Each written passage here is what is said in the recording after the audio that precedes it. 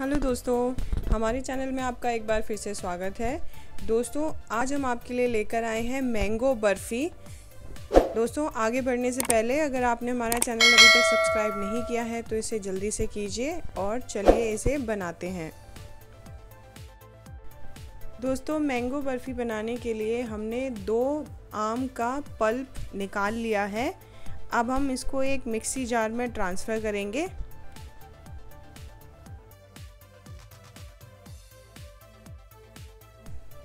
अब इसमें चार बड़े चम्मच चीनी डाल देंगे।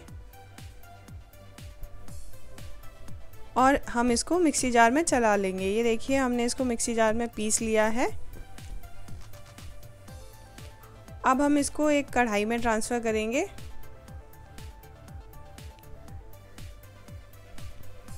और इसको मीडियम आँच पर चलाएँगे।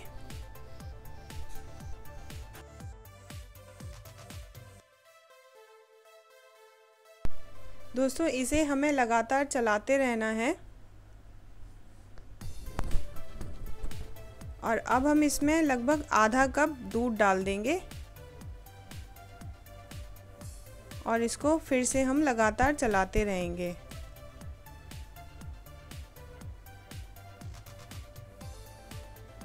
दोस्तों, इसे हमें बहुत अच्छे से पकाना है।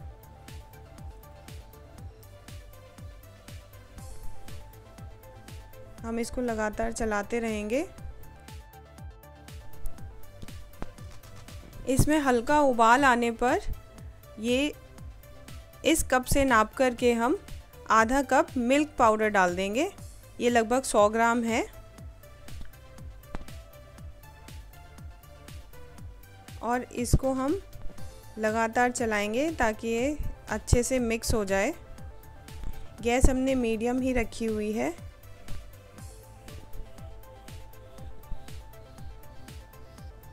हम अच्छे से इसकी जो गुठलियाँ बन रही हैं, वो भी इसमें तोड़ेंगे और इसको लगातार चलाते रहेंगे। हमें इसको बहुत अच्छे से पकाना है।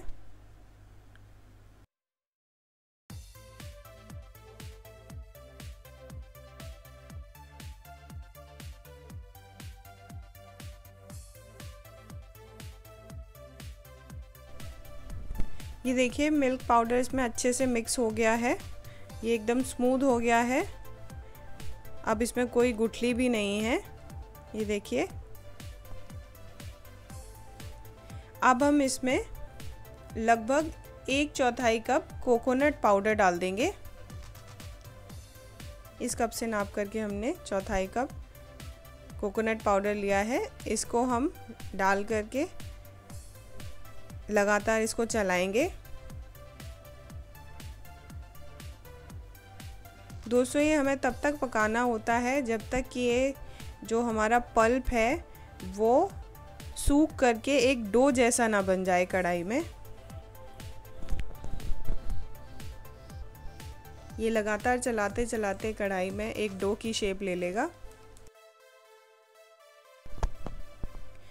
दोस्तों, देखिए बैटर हमारा थोड़ा और गाढ़ा हो गया है। इस स्टेज पर आकर हम इसमें ड्राई फ्रूट्स डाल देंगे। ये हमने बादाम और काजू छोटे छोटे कट कर लिए हैं। उनको हमने इसमें डाल दिया है और डाल करके अब हम इसको और पकाएँगे।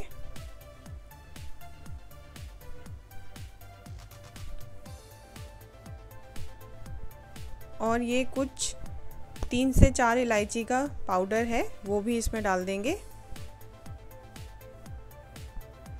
और इसको लगातार चलाते हुए पकाएँगे हम।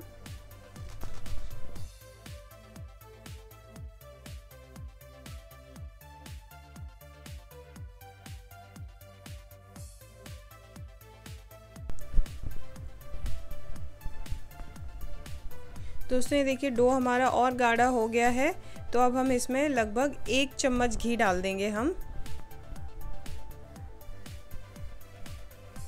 हमने इसमें एक चम्मच, एक बड़ी चम्मच घी डाला है। और अब हम इसको घी डालने के बाद और पकाएँगे। ये थोड़ी देर और पकाने के बाद ये देखिए इस तरीके से डो फॉर्म में आ जाएगा। ये कढ़ाई बिल्कुल छोड़ देगा और हमें लगभग इसको इसी फॉर्म में चाहिए ताकि हम इसकी बर्फ़ी जमा सकें। गैस हम बंद कर देंगे। दोस्तों, बर्फ़ी जमाने के लिए हमने एक ट्रे ली है, उसमें हम ये फॉइल पेपर इस तरीके से सेट कर देंगे।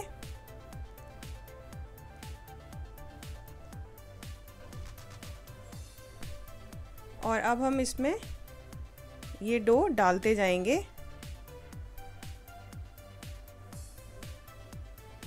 और इसको ऐसे स्मूथ कर देंगे ऊपर से। तो ऐसे स्मूथ करने के बाद हम इसको तीन से चार घंटे के लिए ठंडा होने के लिए रखेंगे। आप चाहें तो इसे फ्रिज में भी ठंडा होने के लिए रख सकते हैं। दोस्तों, तीन से चार घंटे हो गए हैं और हमारी बर्फ़ी तैयार है। हम इसको ऐसे पीसेस में कट कर लेंगे।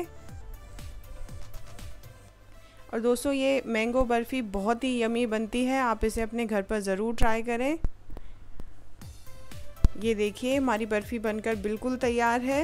दोस्तों, अगर आपको हमारी आज की रेसिपी पसंद आई हो तो इसे लाइक एंड शेयर कीजिए और हमारे चैनल को सब्सक्राइब कीजिए। हम आपसे फिर मिलेंगे एक नए वीडियो में। Thank you for watching our channel